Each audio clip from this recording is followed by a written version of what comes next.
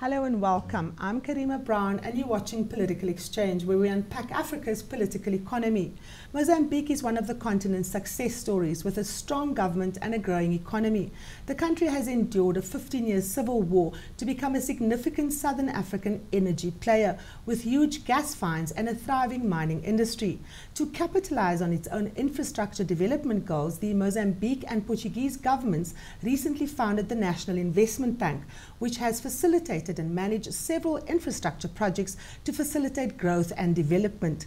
Joining me now to discuss the country's investment outlook is Stephan Morais. He's the Deputy CEO of the National Investment Bank of Mozambique. Thank you so much for joining us. Thank now, you. of course, you are here in the country to uh, you attended the Afro Brazil uh, you know business forum. And prior to to us uh, um, you know going live you were saying that it is a sign of confidence of Brazilian investors in Africa. Um, is that um, you know confidence also expressed in the economy of Mozambique? Absolutely. In fact, uh, Mozambique and Angola are traditionally the biggest recipients of uh, Brazilian investment, which is natural given the, the, the common language and, and, also the fact that these countries are investing significantly in infrastructure. And you have uh, a number of strong uh, contractors from Brazil and also players from the extractive industries, such as Vale, which are interested in developing projects in these countries. Mm -hmm. Now, of course, the, the investment bank, um, it's a year old, it's very recent. Um, take us through who the major players are and what the creation of the, of the bank is meant to help facilitate in terms of fast-tracking the Mozambican economy. Right, I think the shareholders, which are essentially the Mozambican state on one uh, hand and Portuguese bank Caixa Geral de Depósitos on behalf of the Portuguese uh, uh, state, uh, have decided it was time to set up an investment and development bank to help fuel the growth of the country. Because uh, the Mozambican economy, and particularly the financial sector, is already quite strong in terms of retail banking, and you have a number of foreign, Portuguese, and South African banks uh, present. But on the investment banking side, there was no local player. Uh, and particularly with the expectant um, revenues from the mining and oil and gas uh, industries in Mozambique, um, a decision was made that this uh, that this should be accompanied by by the creation of a bank that could further fuel the, the growth of the country and the, the broader uh, inclusiveness of growth for the whole population. Mm -hmm. But are there any private sector players involved in the bank, or are they largely just um, you know state-driven participation? This is essentially state-driven, although uh, one of the shareholders is also uh, a retail bank, uh, which has a small uh, percentage, a retail bank owned by Caixa, but that has private shareholders. So it's not entirely uh, state-owned. Mm -hmm. Now, of course, we know that infrastructure is one of the biggest challenges, not just in Mozambique, but in fact in the whole of the continent. Uh, recently, the uh, SADC countries um, announced and adopted a major infrastructure rollout, uh, some saying equaling 550 US uh, uh, billion US dollars. Of course, very, very ambitious mm-hmm. programs. Mm -hmm. Situate, if you like, uh, Stephan, for me, Mozambique and your bank's role within that broader SADC uh, context. Right. Mozambique plays a very important role in the region uh, because it is um, an access to the sea to some of these countries uh, cross-border transactions and commercial transactions are increasing significantly. And then obviously you have particularly the extractive industries, uh, mining and gas with significant recent discoveries. And for those discoveries to be supported and, and, and to grow, they need to have infrastructure. And these countries in general lack a lot of infrastructure to, to enable economic activity, industry, agriculture, etc., to, to, to, to prosper. And Mozambique only has significant investment plans which are potentially above 50 billion to 100 billion dollars over the next decade, uh, theoretically at least. And much of this has to do with, with infrastructure.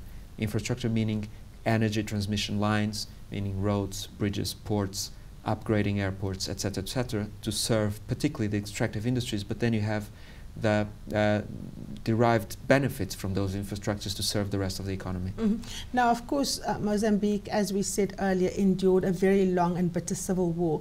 We saw the, the very little infrastructure that there was post-colonialism virtually destroyed, um, leaving some parts of Mozambique incredibly isolated. Um, take us through what significant infrastructure um, progress has been made to kind of restore, you know, those uh, uh, um, communications lines, uh, the ability to hook the, the, the, country up and get goods flowing from one point to the other. Right. I think it's it's important to remember that the civil war um, finished in the beginning of the 90s. So uh, the country has been experiencing quite stable peace for a long time now, almost two decades of peace and, and democracy. Uh, together with foreign institutions such as the World Bank and other multilateral institutions, the government has created um, local institutions which are strong and which have been working with donor uh, countries and now with foreign investors in upgrading these infrastructures. So currently you have fairly good you know, road, roads across the country, uh, much broader access to, to energy and certainly to cell phone technology and others. So uh, we believe now the country will enter a second stage where it will move from the very basic infrastructure into an upgrade, into, into a, a faster mode of growth that will um, encompass uh, you know, a broader participation of different regions of the country which were not so well served up till now. Mm -hmm. Now, of course, um, you know, there's a lot of ambition from the SADC governments to get Africa growing and to get its population to share in the dividend of this, you know, the growth spurt. Um, where are you going to get the private capital from um, to match this ambition? Because obviously we understand that the state has a very definite role to play, um, but what is it that the private sector needs to bring to the party? Well, essentially, uh, like anywhere else in the world, the projects have to be profitable. That's the number one thing, particularly when you're moving from a donor-assisted economy to an investment uh, and consumer internal consumption uh, driven economy. So it needs to be profitable. Uh, the states need to um, set up a set of rules and regulations that welcome the foreign investors and that balance the interests of the foreign investors and that profitability, which is obviously needed anywhere, uh, with also the inclusion of the local population, the creation of employment, uh, the training of the population, because you need vast amounts of very skilled people to manage gas, oil investments, coal investments, electricity investments, roadworks, etc.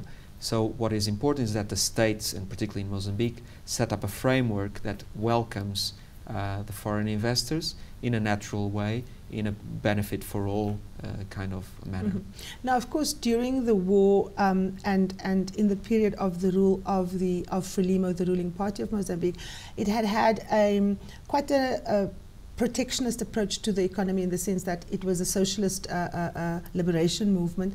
Um, of course, since the, the wars ended, the world has changed, the globe has changed. To what extent is the economic policy framework within Mozambique um, taking into account these, these changes, but of course also in such a way that it deals with the very issues that you raised, that the population is not left behind, that you're not just enabling companies to come in and drill and take and extract, you know, uh, precious raw materials?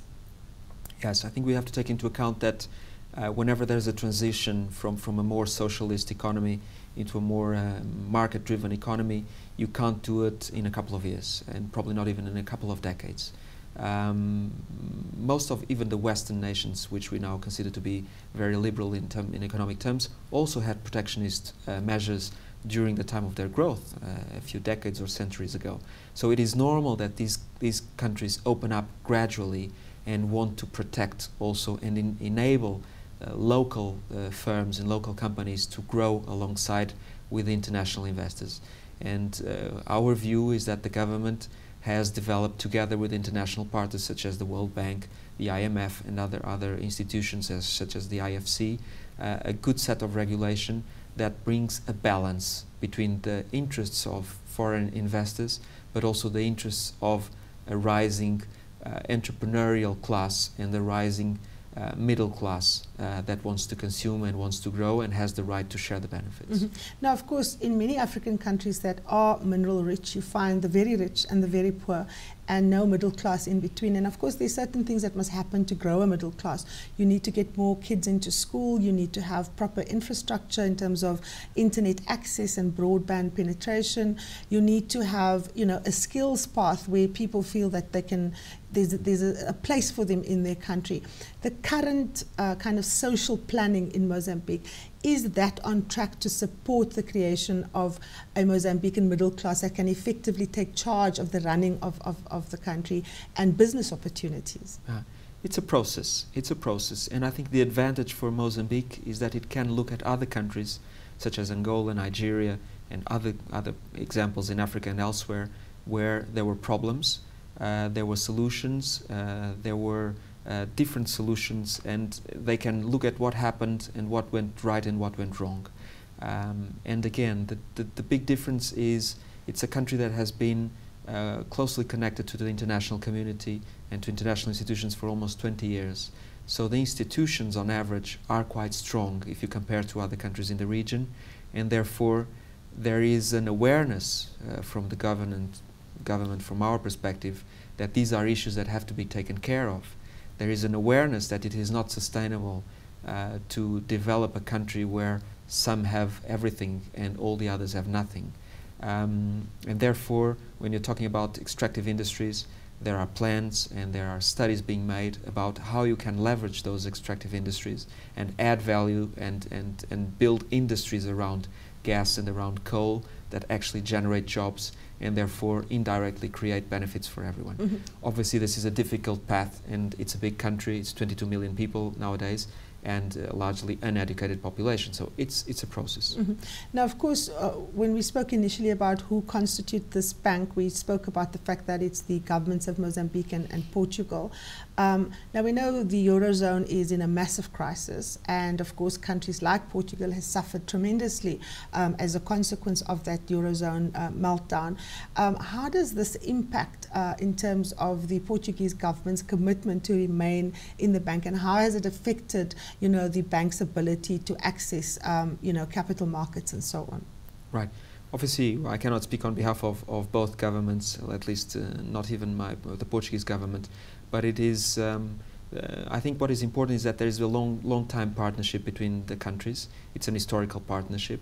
Um, Portugal has been one of the major investors in Africa, and particularly on Portuguese-speaking Africa, for many decades, um, particularly even since uh, the end of the, of the civil wars in Angola and, and in Mozambique. You have a, a lot of qualified Portuguese uh, currently working in these countries and a lot of Portuguese firms coming into these countries. On the other hand, obviously you have uh, a Mozambican state which has good perspectives of growth, um, which uh, has good perspectives in terms of managing on the most professional way their resources and naturally their uh, investment uh, and development bank. Uh, so it's quite natural that this bank is more Mozambican than, than, than Portuguese, and that, that's the way it should be, and that's, that's, uh, that's how it will be. Stephan, when we come back, uh, we will talk a little bit more about some of the challenges your bank faced, but we have to take a short break. When we come back, we talk about whether corruption has the ability to derail Mozambique's economic investment plans.